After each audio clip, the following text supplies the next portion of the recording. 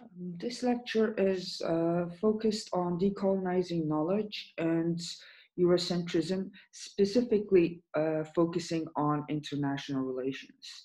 As a first step, what we'll do is define what Eurocentrism is and then see uh, how it uh, sort of influences our narratives of international relations. From there on, uh, we will move uh, more into the nature of disciplinary knowledge and what decolonizing it might mean. Uh, to start off, then, Eurocentrism uh, is a system of knowledge.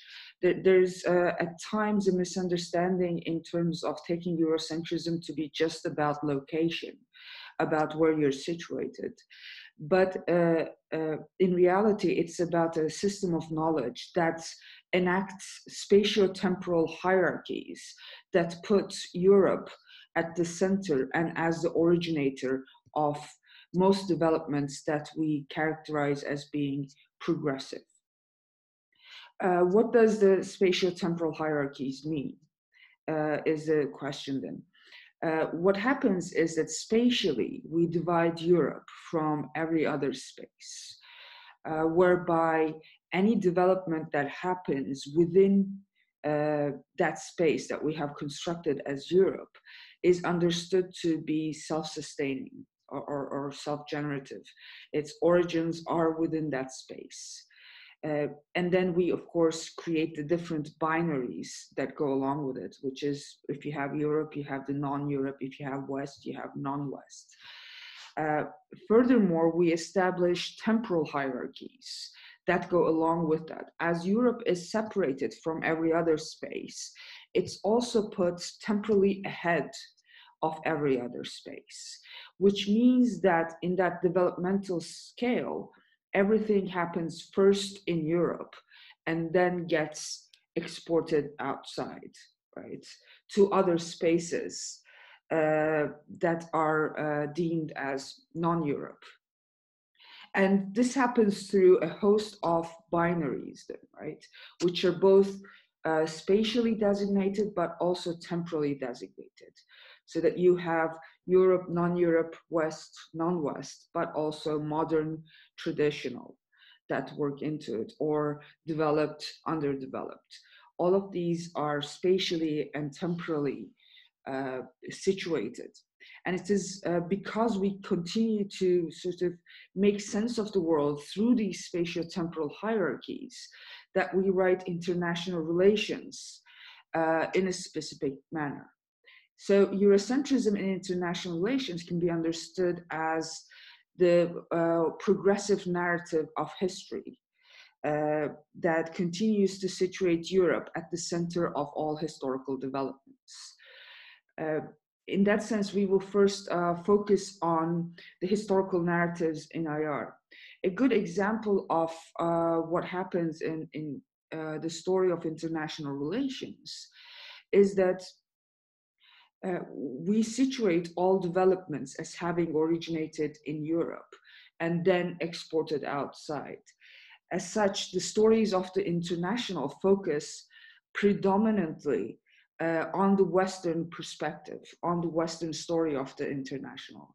But furthermore, the concepts through which uh, international relations are made intelligible, such as the international system, Westphalian sovereignty or security reflect the absence of uh, spaces outside of Europe. Right? All of these concepts are taken to have originated uh, within that space designated as Europe. Uh, a good example of that is uh, the way in which we talk about the expansion of the international system, whereby we talk about it as if uh, the evolution of the international system uh, started in Europe and then was expanded outside as other uh, political entities uh, became independent. Right? Uh, but the telling the story of the evolution of the international system in that manner completely overlooks that it happened at the same time as imperialism and presents an incomplete picture to us, right? Because the European space was not separate from all other spaces. There was constant interaction, there was co- constant communication that was ongoing, uh, which means that the story of the development of uh, the international system is at best an incomplete one. And this is why, uh, within the, the narrative of international relations, uh, it is important to ask a series of historiographical questions in order for us to uh, problematize uh, what it is that might have been overlooked, what it is that is, might be missing from these narratives of international relations. And part of the question, uh, questions to be asked are how was the story framed? Uh, what were the periodizations made?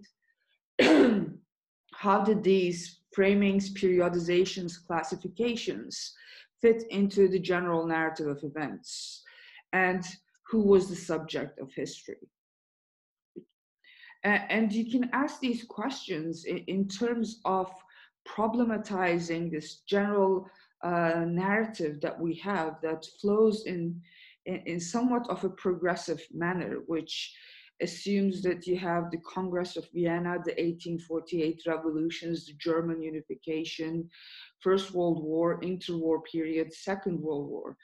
Uh, the way we tell these events in these consecutive uh, manners, uh, again, is, is focused primarily on the Western story.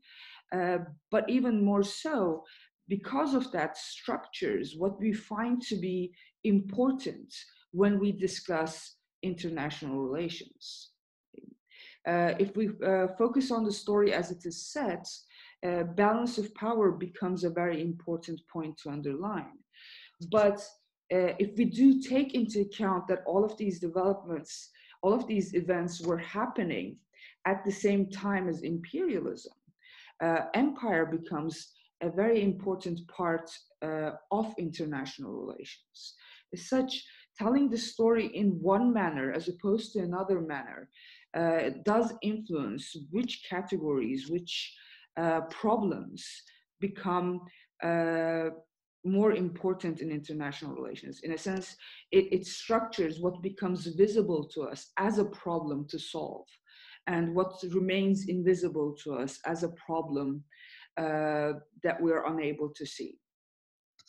Uh, and one of the ways in which um, post-colonial uh, international relations specifically has addressed this issue uh, has been through underlying what is called entangled or connected histories. Uh, connected histories uh, specifically is put forward by Sanjay Subrahmanyam and furthered by the work of uh, Gurminder Bhambra. Uh, and, and what it underlines uh, predominantly is to go beyond that spatial separation that is part of Eurocentrism as a system of knowledge, right? So rather than taking everything that happens uh, as solely happening in Europe or originating in Europe, uh, we look beyond those spatial separations and see how all events are connected with each other. Because what uh, sort of Eurocentrism as a system of knowledge does is analytically separate uh, spaces uh, in order to sort of uh, limit the way in which we can think uh, of possibilities. And what connected histories does is sort of underline that the spatial separation needs to be rethought because uh, if we do take into account uh, what was happening uh, during those times, uh, during the 19th century, uh, as was mentioned, it was also a time of imperialism. Nothing was happening in isolation uh, from the imperial connections. So it is actually impossible to talk about any development uh, without taking into account that it happened at the same time as imperialism. They were all shaping each other. Uh, another important aspect of this is uh, one aspect is, of course, the, the uh, connections. The other aspect is, uh, as I mentioned before, what becomes visible or invisible to us within the, the structure of the narrative of international relations that we have. And, uh, and a good example of that is the discussions on the Haitian Revolution. Uh, whereby uh, especially Robbie Shilliam and Siba Grovogui have done a lot of work. Uh, and when you, uh, what happens is within our, our, our, structure of the narrative of international relations, which goes from, uh, like I mentioned, the French Revolution to the Congress of Vienna and uh, 1848 revolutions, we have a, set, a certain narrative of progress that is constantly situated within the space designated as Europe.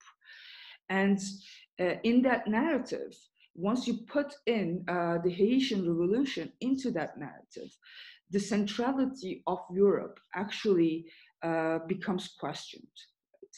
Because the only event, uh, world changing event that is happening is not actually just happening in Europe, it's also happening in other parts of the world. And once you add that to the narrative, who is the agent of progress or who is the subject of history? Can change. Um, um, as I mentioned, these are uh, some ways in which the historical narrative of uh, international relations can be questioned so that the spatial and temporal hierarchies through which uh, we make sense of the world are questioned and problematized and, and uh, we can uh, sort of uh, provide narratives that do not fall back upon these hierarchies.